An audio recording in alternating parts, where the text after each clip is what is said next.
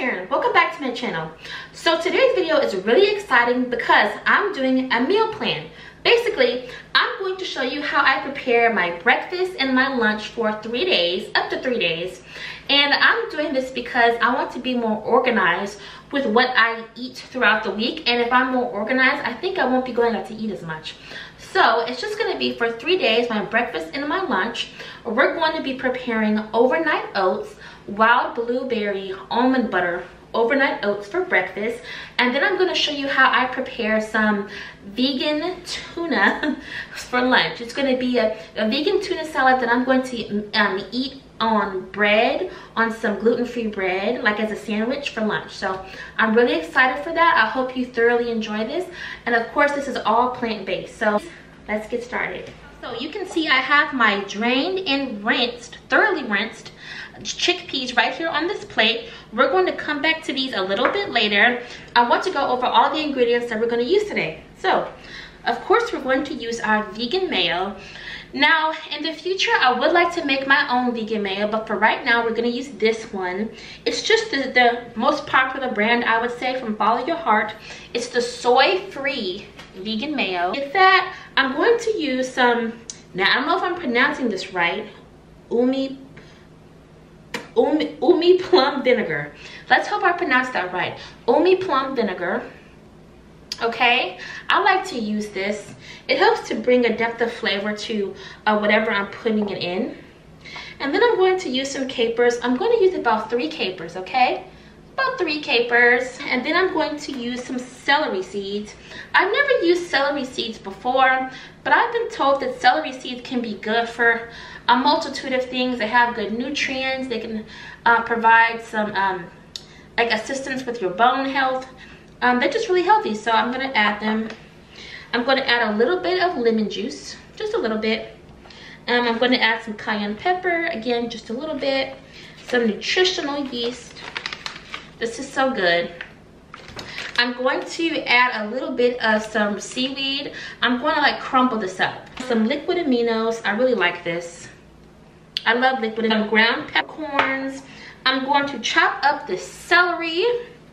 I'm going to dice up, finely dice this green onion, a piece of green one fourth of this. I'm gonna chop about one fourth of this red onion and put that in there. So let me start by chopping this celery.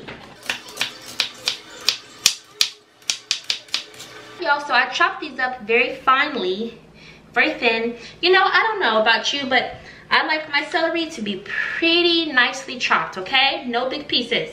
So now I'm going to cut this onion in 12 so I can get about one fourth cup of it. And then I'll finally chop this green onion as well.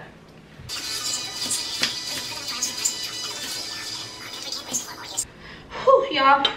My eyes are watering.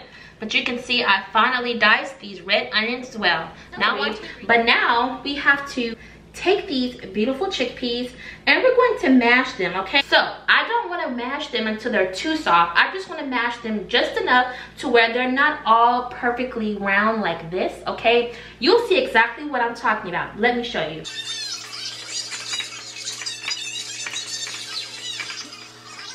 Okay so this is perfect. This is perfectly mashed and you can see like most of it has been mashed most of the chickpeas have been mashed but i still have a few um, somewhat whole pieces of chickpeas. So I like to have kind of like a balance of textures. This is somewhat of a whole chickpea, so it's kind of a mix. Most of it is mashed, but then you have a little bit of whole chickpeas, if that makes sense. But it's up to you how you want to mash your chickpeas. So now I'm going to put the chickpeas in this bowl and I'm going to start assembling everything. Yay! Let's try to get the whole the whole thing in here all the chickpeas. I don't want to waste anything. All right, I also put the green onions in there and now we're gonna put the red onion. Yes, red onion adds so much color to this. So much color. A tablespoon of nutritional yeast. gonna put three capers in here, a tablespoon of liquid aminos, or you can use tamari or regular soy sauce, up to you. Some freshly ground peppercorn. I'm going to take this piece of lemon. I think it's gonna give me about the amount of juice that I need. Now we're gonna get some nori sheets. Uh, you can use about as much as you want. I'll probably get about two of these nori sheets and finally crumble them. Finally crumble them and put them into this mixture. I forgot to mention that we're gonna add some Dijon mustard. So let's go Now we're gonna do one and a half tablespoon of umi plum vinegar. We just added two teaspoons of celery seeds.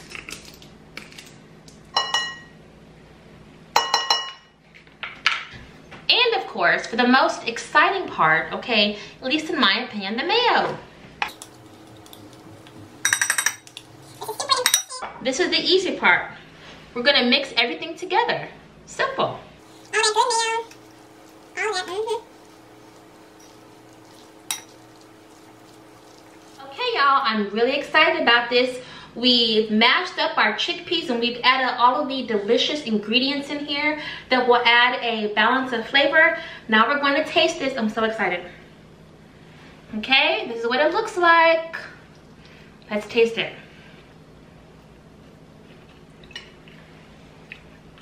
y'all there's a balance of flavor i taste the fishiness of the chickpeas you know what i mean? Or, or the chickpea tuna you know?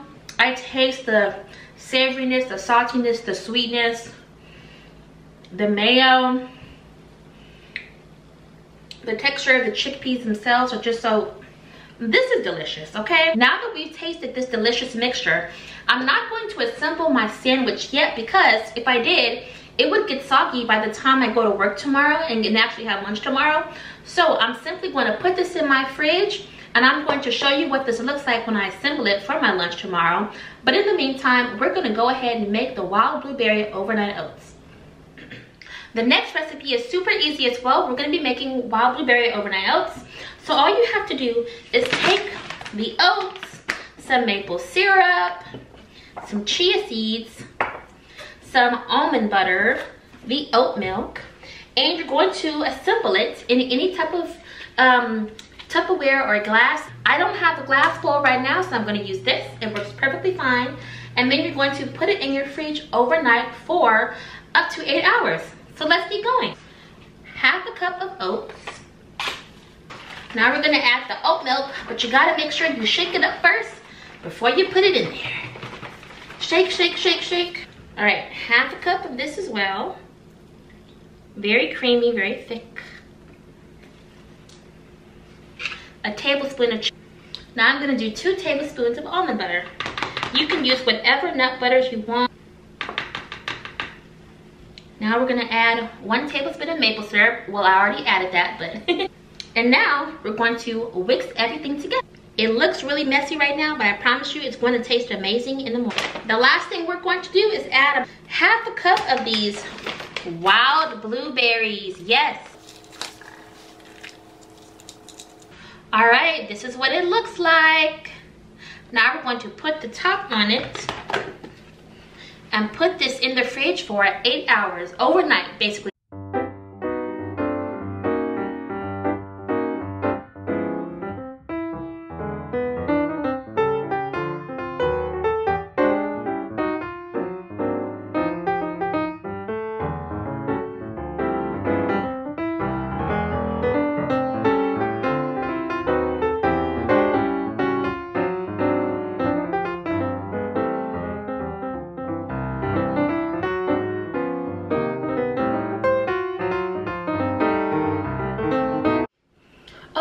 So it is officially the next day and i'm about to make my way to work but i wanted to show you what our breakfast and lunch for this morning looks like.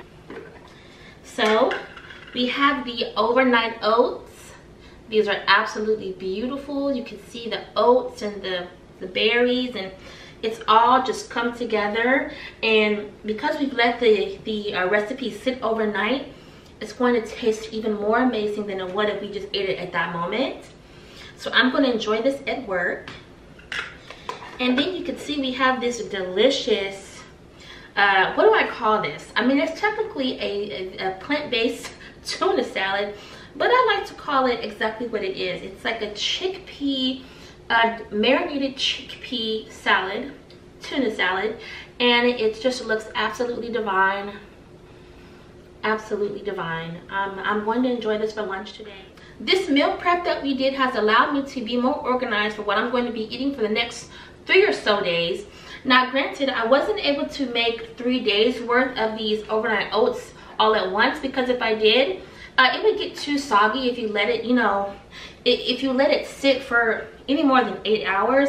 However, I do know exactly what I want to eat and I have all the ingredients so I'm just going to make it every evening so that I can have it for the morning and I've already made the actual uh, mixture of the chickpea tuna salad and it's in the fridge so all I have to do is just assemble it um, every morning for my lunch for that day and that's it.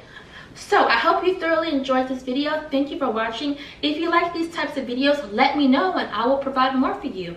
But without further ado, I'm going to get ready to go. But remember, no matter what you're going through, no matter how stressful your day is, remember, just keep sowing, okay? Bye.